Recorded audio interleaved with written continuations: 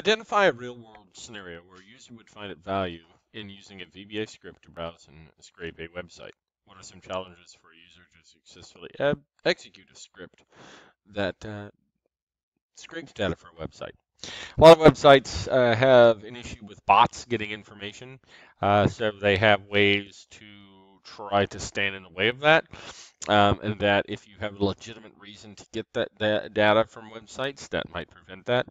A real world situation might be uh, well, uh, political. Um, that's something that may touch home is how many websites maybe are uh, putting out their anti-Trump rhetoric, other rhetoric, um, and be able to uh, look around on these info these websites to see basically what's out there and be able to automate that and give some sort of feedback where that's concerned.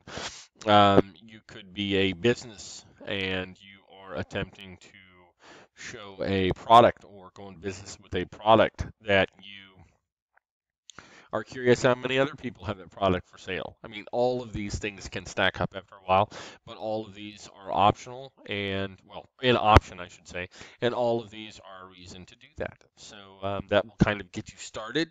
Try to find up uh, other reasons and, of course, support those reasons and continue with the discussion, and let's see where that goes.